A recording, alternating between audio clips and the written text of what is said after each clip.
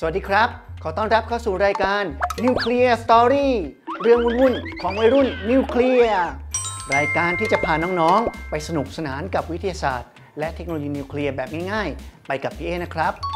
เอ๊ะแต่ทำไมวันนี้ดูมืดๆจังเลยครับ อ๋อ พี่เอลืมถอดแว่น ขอพี่เอเปลี่ยนแว่นแป๊บนึงนะครับ พอดีช่วงนี้แดดแรงครับ พี่เอเลยต้องป้องกันตัวเองจากรังสี UV สักนิดนึง แต่น้องๆทราบไหมครับ รอบๆตัวเราเนี่ยมันไม่ได้มีแค่รังสี UV นะ มีรังสีอื่นๆอีกมากมาย วันนี้เรามาทำความรู้จักกันดีไหมครับ ว่ารังสีมีอะไรบ้าง ไปกันเลยครับ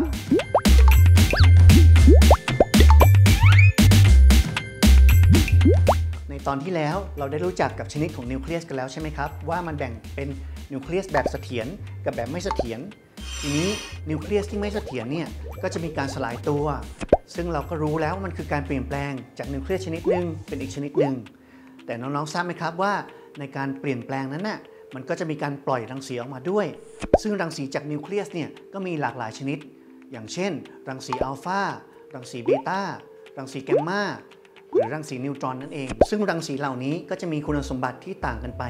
อย่างเช่นอัลฟาก็จะมีประจุไฟฟ้าบวก2รัง สีเบต้าอาจจะมีประจุบวก 1 หรือลบ1รังสีนิวตรอนมีประจุไฟฟ้าเป็น 0 และรังสีแกมมาไม่ใช่อนุภาคเลย แต่ว่าเป็นรังสีคลื่นแม่เหล็กไฟฟ้า เช่นเดียวกับรังสี X ที่เราพบเจอกันที่โรงพยาบาล นอกจากนั้นก็ยังมีรังสีอื่น ๆ รอบตัวเราที่ไม่ได้มาจากนิวเคลียร์นะครับอย่างเช่นรังสีอุลตราไวโอเลตหรือว่า UV จากแสงแดด หรือว่าเป็นรังสีความร้อนอินฟราเรดนะครับหรือว่าแสงสว่างก็คือรังสีชนิดหนึ่งเช่นกัน ทีนี้รังสีจากนิวเคลียสเนี่ยถ้ามันสามารถทำให้ตัวกลางที่มันวิ่งผ่านไปเนี่ยเกิดการแตกตัวเป็นประจุไฟฟ้าได้ เราจะเรียกว่ารังสี ionizing radiation นะครับซึ่งถ้าเราทำงานกับรังสีที่มีคุณสมบัติแบบนี้ เราจะต้องมีป้ายติดไว้ เตือนไว้ว่า แถวนี้มีรังสีชนิดนั้นอยู่ ก็เป็นสัญลักษณ์เป็นแบบนี้นะครับ ทีนี้รังสีที่ออกมาเนี่ยมันก็คือพลังงานชนิดหนึ่งซึ่งพลังงานเนี่ย ก็สามารถนำไปใช้ประโยชน์ได้ อย่างเช่น พลังงานที่เป็นความร้อนเราสามารถใช้ทำอาหารได้ พลังงานที่เป็นรังสีเราสามารถทำให้เกิดการเปลี่ยนแปลงของวัสดุสิ่งมีชีวิต และสิ่งไม่มีชีวิตได้นะครับเพราะฉะนั้นประโยชน์ของรังสีเนี่ยมีมากมายเลย แต่ก็เหมือนกับทุกสิ่งนะครับ สิ่งที่มีประโยชน์ก็สามารถมีโทษได้ เพราะฉะนั้นเราต้องป้องกันตัวเองกับรังสี ซึ่งการป้องกันนั้นก็จะขึ้นอยู่กับชนิดของรังสีนะครับ อย่างเช่น ถ้าเป็นรังสีอัลฟาเนี่ยถ้าต้นกำเนิดอยู่นอกร่างกายเราเนี่ยเราแทบจะไม่ต้องกังวลเลย เพราะว่ารังสีอัลฟาเนี่ยมันเดินทางในอากาศได้ระยะสั้นๆ มากๆเลย มันก็ถูกกันด้วยโมเลกุลของอากาศละนะครับเพราะฉะนั้นเราไม่ต้องกังวลกับอัลฟาแต่ถ้าเป็นรังสีเบต้านะครับเราก็อาจจะใช้วัสดุเบาๆ อย่างเช่น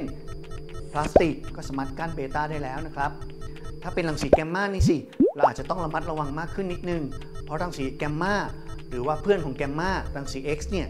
สามารถวิ่งทะลุทะลวงได้ไกล เราต้องใช้วัสดุที่มีเลขอะตอมสูงๆ เป็นพวกโลหะอย่างเช่นตะกั่วนะครับ ในการกำบังรังสีแกมมาหรือถ้าเป็นรังสีนิวตรอนเนี่ยซึ่งเราไม่พบเจอในชีวิตประจำวันเท่าไหร่นักนะครับ แต่ถ้าเราไปที่เครื่องปฏิกรณ์นิวเคลียร์เนี่ยเราสามารถพบเจอรังสีนิวตรอนได้ ซึ่งนิวตรอนเนี่ยไม่มีประจุไฟฟ้า เพราะฉะนั้นมันสามารถที่จะวิ่งทะลุทะลวงผ่านตัวกลางได้ไกล ครับเราต้องใช้วัสดุที่สามารถที่จะลดทอนพลังงานนิวตรอนได้ และ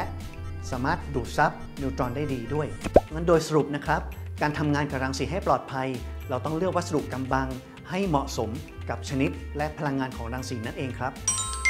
น้องๆได้รู้จักกับรังสีกันแล้วใช่ไหมครับ แต่ถ้าน้องๆอยากจะเข้าใจให้มากขึ้น เรายังมีการทดลองสนุกๆจากน้องๆทีมแรงเจอร์รอเราอยู่ไปพบกันเลยครับ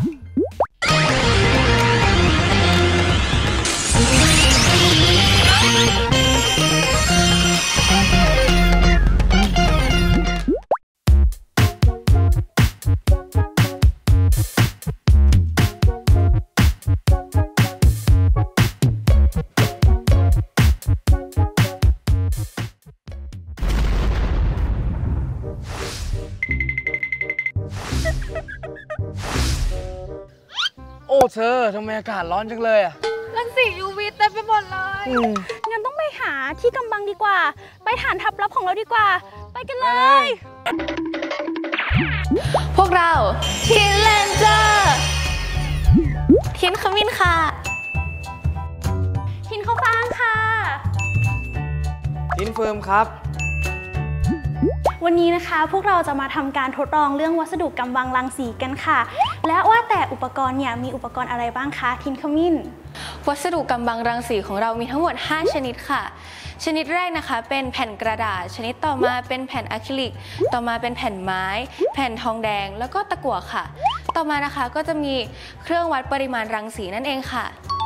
ค่ะแล้วซอสของรังสีวันนี้ที่เรามาใช้ทำการทดลอง มีอะไรกันบ้างคะ TINT เฟิร์ม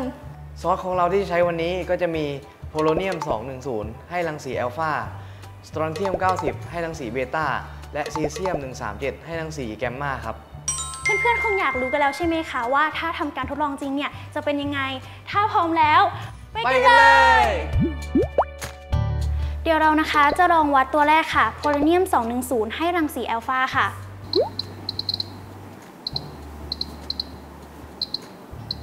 จากนั้นนะคะจะลองใช้วัสดุกำบังนะคะ เป็นกระดาษค่ะ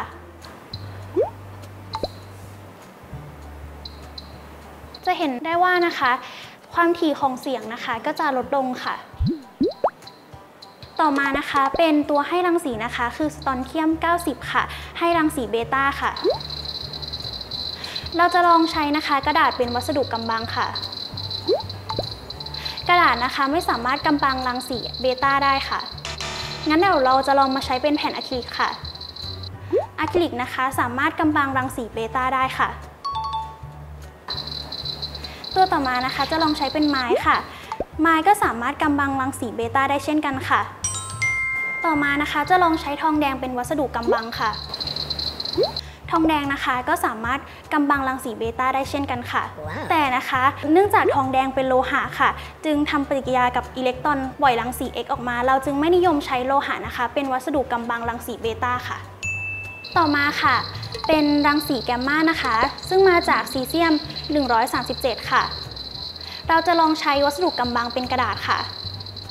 กระดาษนะคะไม่สามารถกำบังรังสีแกมมาได้ค่ะ ต่อมานะคะ เดี๋ยวลองใช้เป็นอะคริลิกค่ะ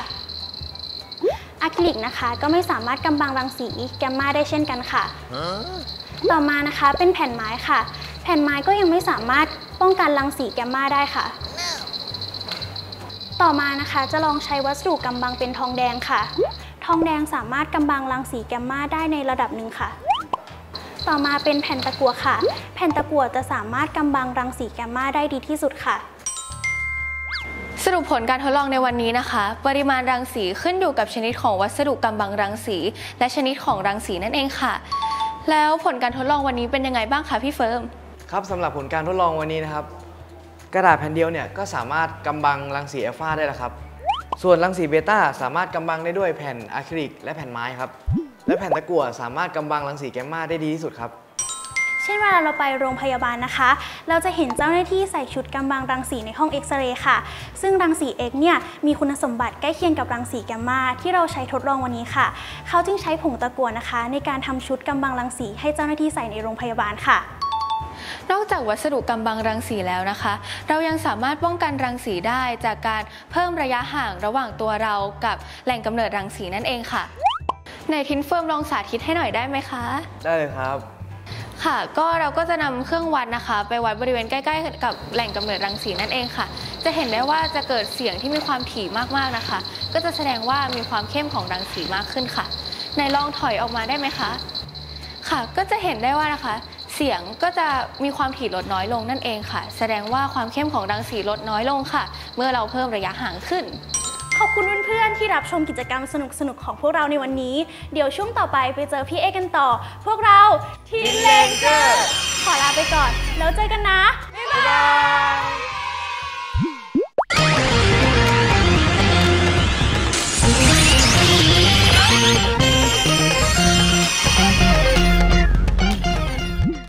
ขอบคุณน้อง ๆ TINT Ranger มากเลยนะครับสำหรับการทดลองสนุกๆสำหรับ Nuclear Story ตอนหน้า พี่เอขอสปอยว่าเราจะพูดถึงเรื่องรังสีกันอีกหนึ่งตอนนะครับ ถ้าอยากติดตามน้องๆ สามารถกดไลค์ กดแชร์ กด subscribe และกดกระดิ่งแจ้งเตือนได้เลยนะครับ